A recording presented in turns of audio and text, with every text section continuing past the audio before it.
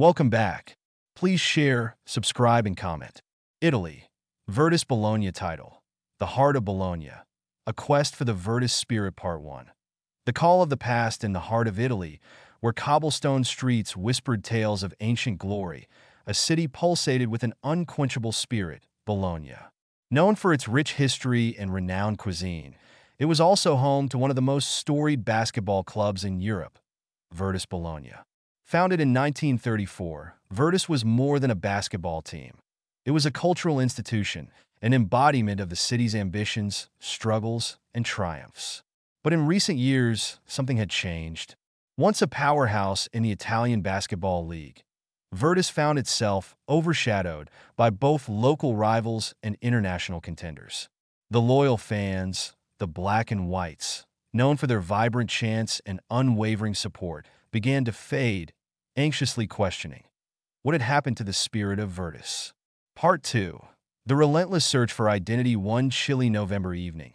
A group of passionate supporters convened at a local cafe, Cafe Zamboni, where the aroma of roasted espresso beans mingled with the sweet notes of freshly baked tortellini. Among them was Elena, a longtime fan, who couldn't shake the feeling that the essence of Virtus Bologna was slipping away. Elena, inspired by her grandfather's stories of the club's glory days, decided it was time to embark on a journey. She invited her friends, Marco, an aspiring journalist, Sarah, a graphic designer, and Luca, a retired coach, to join her in uncovering the roots of the club's proud identity. They sought to understand what had driven Virtus to greatness and, most crucially, how they could revive that spirit. Part 3 Unearthing the legacy, their journey led them through the hidden gems of Bologna, from the majestic Two Towers to the historic PalaDozza Arena, where they spoke to former players, coaches, and passionate fans. Each conversation unearthed layers of history, from the legendary titles won in the 1990s to the legendary figures who had donned the Virtus jersey. Former player Roberto Bobby Fontana recounted the magic of teamwork and camaraderie, emphasizing that the secret to Virtus' success lay not just in talent, but in a profound connection to the city.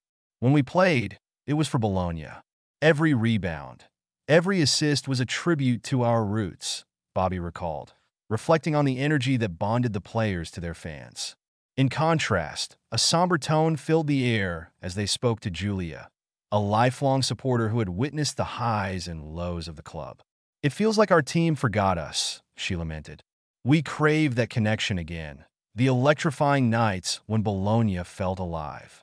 Part 4 The power of community determined to rebuild the bridge between the club and its supporters. Elena and her friends organized a community event in the vibrant Piazza Maggiore. They invited families, local musicians, and past players, creating a space for old memories to resurface and new ones to unfold. As the sun set over the piazza, casting a golden hue on the gathering, they unveiled a series of interactive displays chronicling the club's history. Former players shared their experiences. Mario the mascot entertained children, and fans united in a symphony of chants that echoed through the city. The event sparked something profound. People began to reclaim their love for Virtus, sharing stories of how the team had been intertwined with their own lives. The moments of triumphs that mirrored personal victories, the heartbreaks that mirrored struggles. Part 5 A new dawn for Virtus Bologna months passed, and as the new season approached, a newfound energy enveloped the Virtus Bologna community. The team, inspired by the rekindled connection with its fans, entered the season with fresh zeal. They donned the black and white jerseys, not just as players, but as ambassadors of a heritage that belonged to the city. As they played each game, the atmosphere in the arena turned electric with the fans chanting louder, their loyalty unyielding. The players, invigorated by the support, fought hard for every point, and slowly, they began to climb the ranks once more. Through their journey, Elena, Marco, Sarah, and Luca had uncovered a powerful truth. Virtus Bologna was not merely a basketball team. It was a symbol of resilience and identity for the people of Bologna. It linked the past to the present, binding generations together in the ardor of sport. In the end, the quest wasn't just about a team reclaiming its former glory. It was about the heart of Bologna, a city that would always rise, together, no matter the score. And in their hearts, they knew that the spirit of Virtus Bologna would endure, forever shining brightly as a beacon of community and passion.